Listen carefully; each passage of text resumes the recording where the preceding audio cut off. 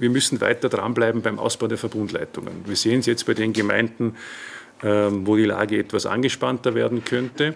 Es ist eine wichtige Botschaft zu sagen, äh, Ausbau der Verbundleitungen ist entscheidend. Wer eine krisensichere Wasserversorgung in Zukunft auch gewährleisten will, der muss weiter auf gute Verbundsysteme aufbauen.